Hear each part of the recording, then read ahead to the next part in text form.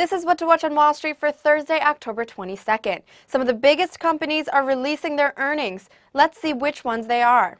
Before the opening bell, we hear from McDonald's, 3M, and Eli Lilly. Union Pacific, Dow Chemical, Caterpillar, Southwest Airlines, United Continental, and Under Armour. Then after the market close, we get reports from Alphabet, Microsoft, Amazon, along with AT&T. When e-commerce giant Amazon comes out with its third quarter figures, analysts are calling for a loss of 12 cents a share on revenue of nearly $25 billion. Compared to a year ago, the company is expected to do better on both the top and bottom line. Overall, Amazon is outperforming its peers. The stock is up more than 80% this year. One reason for this is that Amazon Prime is gaining traction.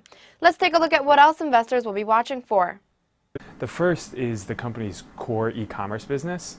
And the reason people will be watching this is because the company posted great results last quarter, growing the business over 20% domestically and globally, and it will be interesting to see how the company compares this quarter.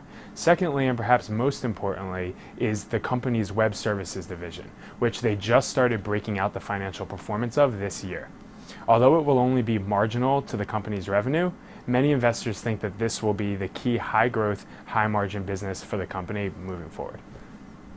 Here's what's on the economic calendar. We get jobless claims at 8.30 in the morning, followed by existing home sales at 10. For the latest financial news and updates from Wall Street, check back on backonthestreet.com throughout the day. I'm U-Jin Lee in New York.